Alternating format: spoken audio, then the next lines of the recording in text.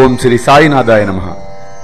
శ్రీ సాయిబాబా జీవిత చరిత్రము మూడవ అధ్యాయం సాయిబాబా అనుమతి వాగ్దానము భక్తుల కొరకు నిర్ణయించిన పని బాబా కథలు సముద్ర మధ్యమున దీపస్తంభములు వారి ప్రేమ రోహిల్లా కథ వారి మృదు మధురమైనటువంటి అమృత తుల్యమైన పలుకులు. సాయిబాబా యొక్క అనుమతి వాగ్దానము.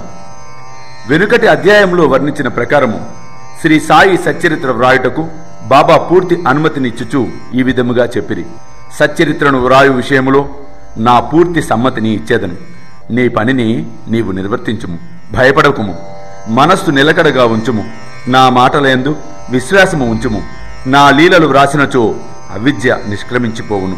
వానిని శ్రద్ధాభక్తులతో ఎవరు వినదరో వారికి ప్రపంచమందు మమత క్షీణించును. బలమైన భక్తి ప్రేమ అను కెరటములు లేచును. ఎవరైతే నా లీలలలో మునిగెదరో వారికి జ్ఞానరత్నములు లభించును. ఇది విని రచయిత మిక్కిలి సంతసించెను. వెంటనే నిర్భయుడయ్యను. కార్యము జయప్రదముగా సాగునని ధైర్యము కలిగెను. అటుపై మాధవరావు దేశపాండే వైపు తిరిగి బాబా ఇట్లనెను.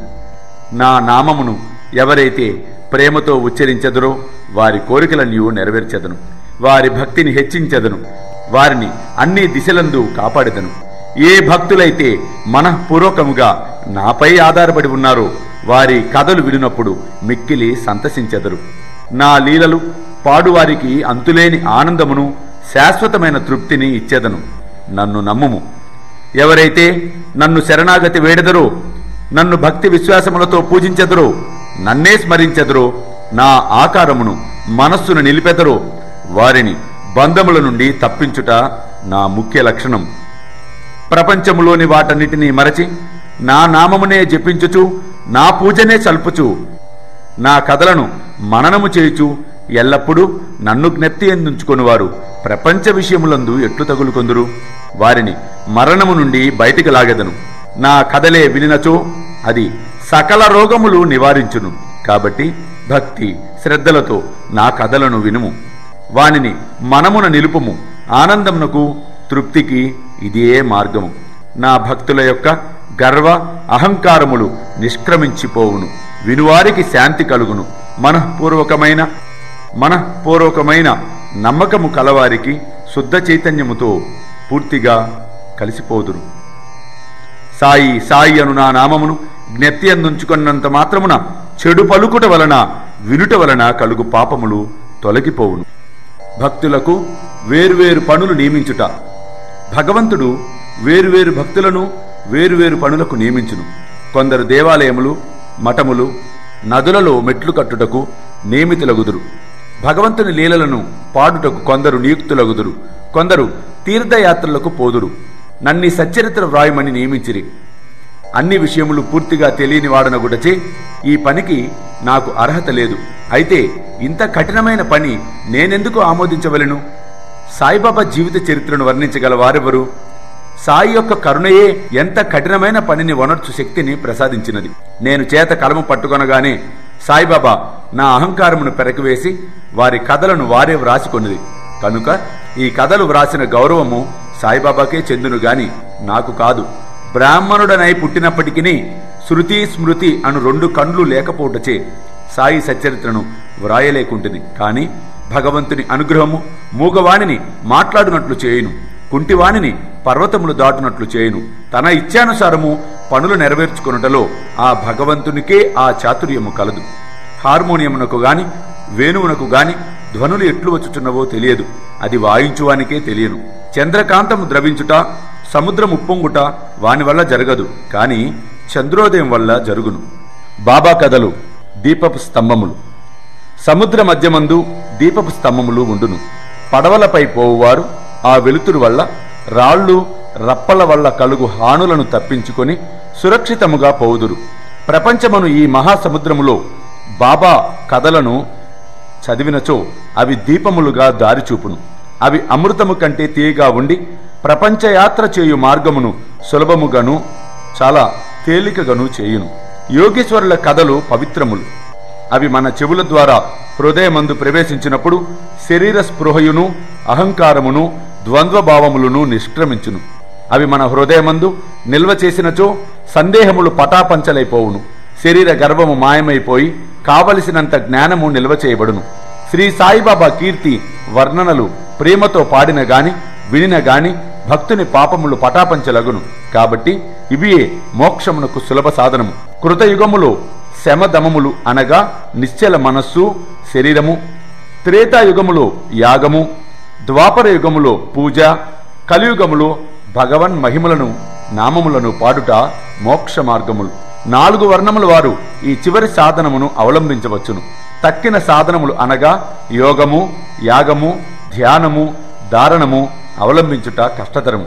కాని భగవంతుని కీర్తిని మహిమను పాడుట అతి సులభము. మన మనస్సును మాత్రము అటువైపు త్రిప్పవలెను.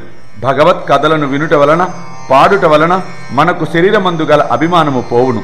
అది భక్తులను నిర్మోహులుగా చేసి తుదకు ఆత్మ సాక్షాత్కారము పొందినట్లు చేయును. ఈ కారణము చేతనే సాయిబాబా నాకు సహాయపడి నాచే ఈ సచ్చరితామృతమును వ్రాయించెను భక్తులు దానిని సులభముగా చదువగలరు వినగలరు. చదువునప్పుడు వినునప్పుడు బాబాను ధ్యానించవచ్చును. వారి స్వరూపమును మనస్సునందు మననము చేసుకునవచ్చును. ఈ ప్రకారముగా గురువునందు తదుపరి భగవంతుని యందు భక్తి కలుగును. తుదకు ప్రపంచమందు విరక్తి పొంది ఆత్మ సాక్షాత్కారము సంపాదించగలుగుదుము. సచ్చరితామృతము వ్రాయుట తయారు చేయుట బాబా యొక్క కటాక్షము చేతనే సిద్ధించినవి. నేను మాత్రము కేవలము నిమిత్త మాత్రుడనే సాయిబాబా యొక్క మాతృ ప్రేమ ఆవు తన దూడనెట్లు ప్రేమించును. అందరికీ తెలిసిన విషయమే. దాని పొదుగెల్లప్పుడూ నిండియే ఉండును. దూడకు కావలసినప్పుడెల్లా కుడిచినచో పాలు దారగా కారును. అలాగునే బిడ్డకు ఎప్పుడు పాలు కావలనో తల్లి గ్రహించి సకాలమందు పాలు ఇచ్చును. బిడ్డకు గుడ్డలు తొడుగుట ఎందును అలంకరించుట ఎందును తల్లి తగిన శ్రద్ధ తీసుకొని సరిగా చేయును. బిడ్డకు ఈ విషయమేమీ తెలియదు కాని తల్లి తన బిడ్డలు చక్కగా దుస్తులు ధరించి అలంకరింపబడుట చూచి అమితానందము పొందును. తల్లి ప్రేమకు సరిపోల్చదగినదేదీ లేదు. అది అసమాన్యము నిర్వ్యాజము. సద్గురువులు కూడా ఈ మాతృ ప్రేమ వారి శిష్యుల యందు చూపుదురు. సాయిబాబాకు కూడా నా ఎందట్టి ప్రేమ ఉండెను. దానికి క్రింది ఉదాహరణ ఒకటి. పంతొమ్మిది వందల పదహారవ సంవత్సరములో నేను సర్కారు ఉద్యోగం నుండి విరమించి తిని నాకియ్య నిశ్చయించిన పింఛను కుటుంబమును గౌరవముగా సాకుటకు చాలదు. గురు పౌర్ణమి నాడు ఇతర భక్తులతో నేను కూడా సిరిడి పోయిదిని అన్నా చించనీకర్ నా గురించి బాబాతో ఇట్లనను. దయచేసి వాని అందు దాక్షిణ్యము చూపుము బాబా. వానికి వచ్చి పింఛను సరిపోదు. వారి కుటుంబమేమో పెరుగుచున్నది. వానికి ఇంకేదైనా ఉద్యోగం ఇప్పించుము. వాని ఆతురతను తీసివేయము. వానికి ఆనందము కలుగునట్లు చేయము దేవా. అందులకు బాబా ఇట్లు జవాబిచ్చెను. వానికి ఇంకొక ఉద్యోగము దొరుకును. కాని వాడిప్పుడు నా సేవతో తృప్తి పడాలిరా? వాని భోజన పాత్రలు ఎప్పుడూ పూర్ణముగానే ఉండును. ఎన్నటికి నిండుకొనవు వాని దృష్టినంతటిని నా వైపు త్రిప్పవలేను. నాస్తికులు దుర్మార్గుల సహవాసము వీడవలేను. అందరి ఎడ అనుకువ నమ్రతలు ఉండవలేను. నన్ను హృదయపూర్వకముగా పూజించవలేను. వారిట్లు చేసినచో శాశ్వత ఆనందము పొందును. నన్ను పూజింపుడను దానిలో ఈ నన్ను ఎవరు అను ప్రశ్నకు సమాధానము సాయిబాబా ఎవరు అను దానిలో విశదీకరింపబడి ఉన్నది. మొదటి అధ్యాయమునకు పూర్వము ఉపోద్ఘాతములో చూడుడు. రోహిల్లా కథ. రోహిల్లా కథ విన్నచో బాబా ప్రేమ ఎట్టిదో బోధపడును. పొడుగాటివాడును పొడగైన చొక్కా తొడిగినవాడును బలవంతుడగు రోహిల్లా ఒకడు. బాబా కీర్తి విని వ్యామోహితుడై సిరిడిలో స్థిర నివాసము ఏర్పరచుకొనెను. రాత్రింబగళ్ళు ఖురానులోని కల్మాను చదువుతూ అల్లాహు అక్బర్ అని ఆబోతు రంకె వేసినట్లుగా బిగ్గరగా అరుచుచుండెను. పగలంతయు పొలములో కష్టపడి పనిచేసి ఇంటికి వచ్చిన సిరిడి ప్రజలకు నిద్రాభంగమును అసౌకర్యమును కలుగుచుండెను. కొన్నాళ్ళ వరకు వారు దీనిని ఓర్చుకొనిది తుదకు బాధను ఓర్వలేక బాబా వద్దకేగి రోహిల్లా అరుపులను ఆపమని బతిమాలిది బాబా వారి ఫిర్యాదును వినకపోవటే కాక వారిపై కోపించి వారి పనులు వారు చూసుకునవలసినదిగా రోహిల్లా జోలికి ఎవరూ పోవద్దని మందలించింది రోహిల్లాకు ఒక దౌర్భాగ్యపు భార్య గలదనియు ఆమె గయ్యాలిదనియు ఆమె వచ్చి రోహిల్లాను బాధపెట్టుననియు రోహిల్లా ప్రార్థనలు విని అది ఏమీ చేయలేక ఊరుక ఉండుననియు బాబా చెప్పాను. నిజముగా రోహిల్లాకు భార్యయే లేదు. భార్య అనగా దుర్బుద్ధి అని బాబా అభిప్రాయం బాబాకు అన్నిటికంటే దైవ ప్రార్థనలందు మిక్కుటముగా ప్రేమ. అందుచే రోహిల్లా తరఫున వాదించి ఊరిలోని వారిని ఓపికతో నోర్చుకోమని బాధను సహింపవలసినదనియు అది త్వరలో తగ్గుననియు బాబా బుద్ధి చెప్పాను. బాబా యొక్క అమృత తుల్యమగు పలుకులు. ఒకనాడు మధ్యాహ్న హారతి ఆయన పిమ్మట భక్తులందరూ తమ తమ బసలకు పోవుచుండిరి. అప్పుడు వారికి బాబా ఈ క్రింది చక్కని ఉపదేశమిచ్చిరి. మీరు ఎక్కడ ఉన్నను? ఏమి చేయుచున్నను? నాకు తెలియనని బాగుగా జ్ఞాపకం ఉంచుకొనుడు నేను అందరి హృదయములను పాలించువాడను. అందరి హృదయములలో నివసించువాడను. ప్రపంచమందుగల చరాచర జీవకోటి అంతయు ఆవరించి ఉన్నాను ఈ జగత్తును నడిపించువాడను సూత్రధారిని నేనే. నేనే జగన్మాతను త్రిగుణముల సామరస్యమును నేనే. ఇంద్రియ చాలకుడను నేనే సృష్టి స్థితి లయకు కారకుడను నేనే. ఎవరైతే తమ దృష్టిని నా వైపు త్రిప్పెదరో వారికి ఏ హాని గాని బాధ కాని కలుగదు. ఎవరైతే నన్ను మరిచెదరో వారిని మాయ శిక్షించును. పురుగులు చీమలు దృశ్యమాన చరాచర జీవకోటి అంతయు నా శరీరమే నా రూపమే.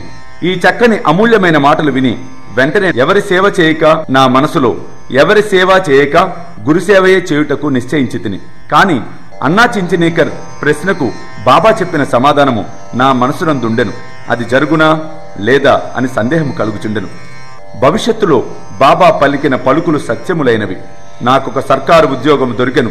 కాని అది కొద్ది కాలము వరకే అటు పిమ్మట వేరే పని ఏదీ చేయక శ్రీ సాయి సేవకు నా జీవితమంతయు సమర్పించి తిని. ఈ అధ్యాయము ముగించక ముందు చదువరులకు నేను చెప్పునదేమనగా బద్ధకము నిద్ర చెంచల మనస్సు శరీరమంద అభిమానము మొదలగు వాణిని విడిచి వారు తమ యావత్తు దృష్టిని సాయిబాబా కథల వైపు త్రిప్పవలెను. వారి ప్రేమ సహజముగా ఉండవలెను. వారు భక్తి యొక్క రహస్యమును తెలుసుకొందురుగాక. ఇతర మార్గములు అవలంబించి అనవసరముగా అలసిపోవద్దు. అందరూ ఒకే మార్గమును త్రొక్కుదురుగాక. అనగా శ్రీ సాయి కథలను విందురుగాక. ఇది వారి అజ్ఞానమును నశింపచేయును. మోక్షమును సంపాదించి పెట్టును. లోభి ఎక్కడనున్నప్పటికీ వాని మనస్సు తాను పాతిపెట్టిన సొత్తునందే ఉండునట్లు బాబాను కూడా ఎల్లరూ తమ హృదయములందు స్థాపించుకొందురుగాక. ఓం నమో శ్రీ సాయినాథాయ. ఓం శాంతి శాంతి శాంతి. మూడవ అధ్యాయం సంపూర్ణం. సర్వం శ్రీ సాయినాథార్పణమస్తు.